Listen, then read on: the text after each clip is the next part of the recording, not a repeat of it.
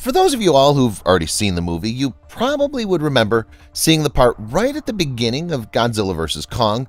That's where they explained that a storm, which was a rather powerful one at that actually, had taken over Skull Island, which then led to the island ending up completely uninhabitable. Now, that explains why there's a containment zone for Kong and Skull Island and all the other advanced goodies that come with it, for example, the artificial sky and the advanced climate modulating mechanism.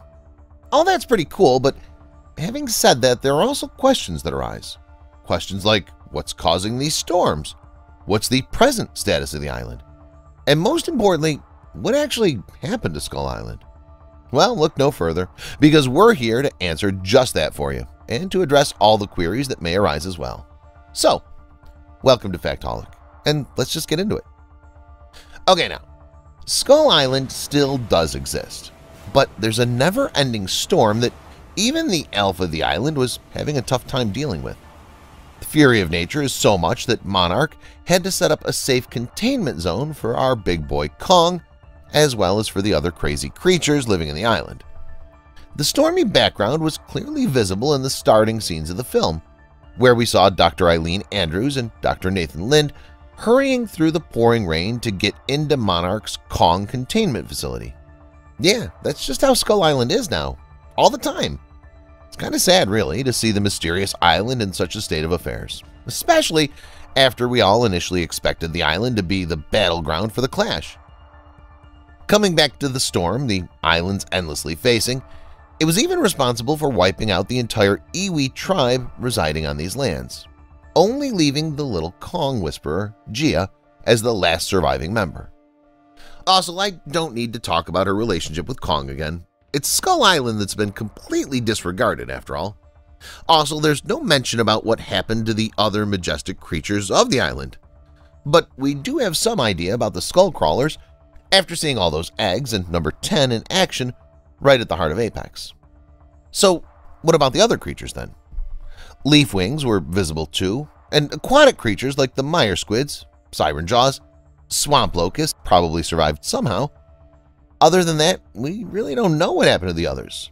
Mother longlegs, psycho vultures, sker buffaloes, spore mantises, death jackals, magma turtles, spirit tigers, fern birds, vine stranglers, and Skull Island deer were all MIA in the film.